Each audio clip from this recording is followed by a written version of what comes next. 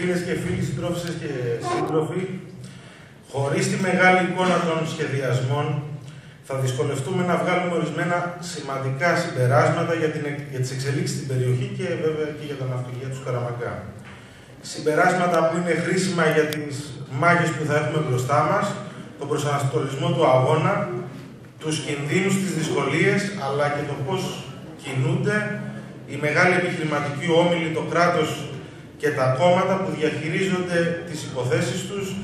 για τα κέρδη των λίγων σε βάρος των δικαιωμάτων των πολλών.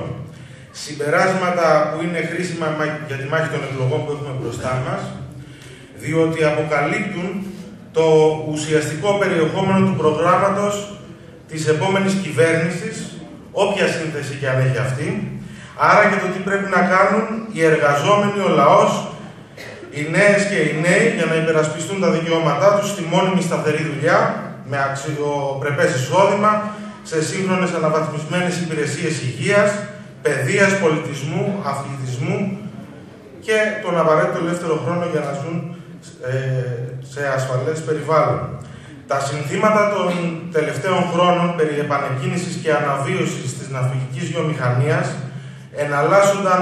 μαζί με τις κυβερνήσεις τόσο της Νέας Δημοκρατίας όσο και του ΠΑΣΟ, του ΣΥΡΙΖΑ και συνοδεύονταν από ευχολόγια για τις θέσεις εργασίας. Όμως, όπως κατέδειξαν οι προηγούμενες ομιλίες και της Χριστίνας,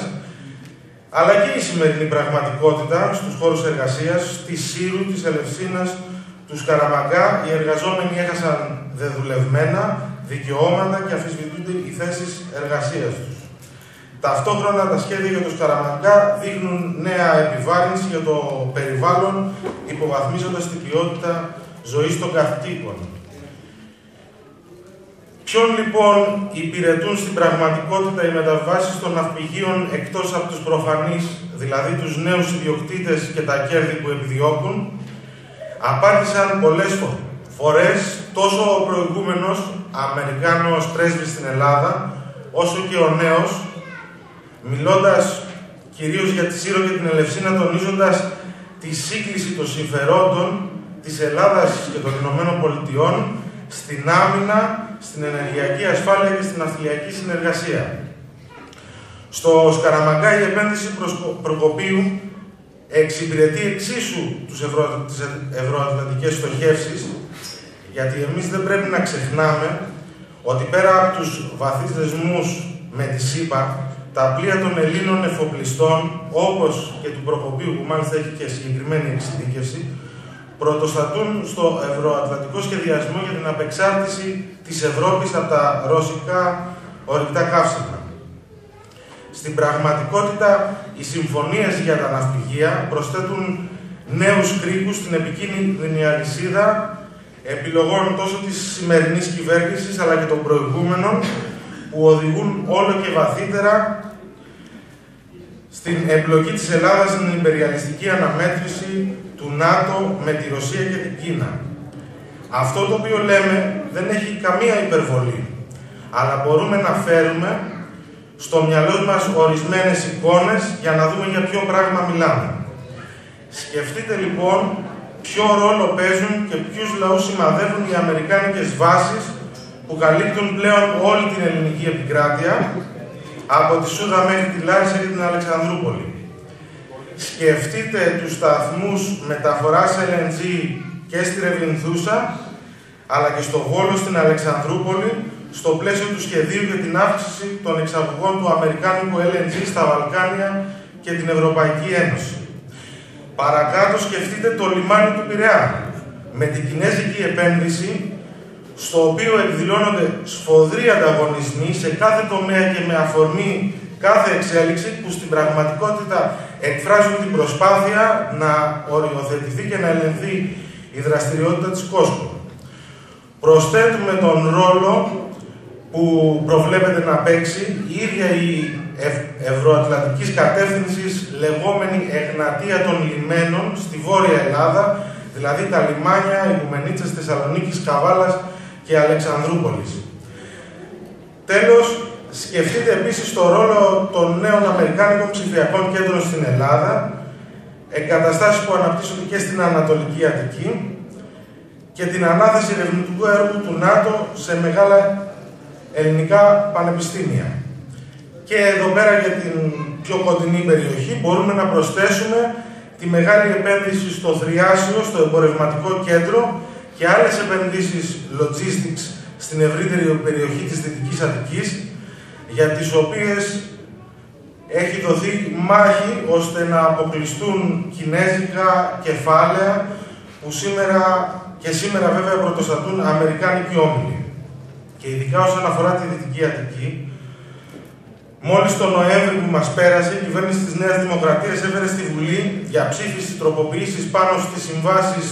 που είχε υπογράψει η προηγούμενη κυβέρνηση του ΣΥΡΙΖΑ του 2018 για τη δημιουργία εμπορευματικού κέντρου στο Θριάσιο Πεδίο, τις τροποποιήσεις που δεν αλλάζουν ουσιαστικά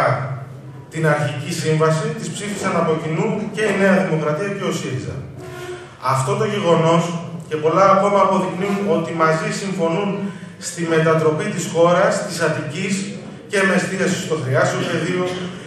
στο Σκαραμαγκά, στο Πειραιά, σε δια,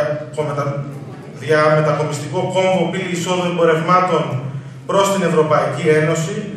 μια αναβάθμιση που ουσιαστικά αφορά μόνο την αύξηση των κερδών των μονοπωλιακών ομίλων,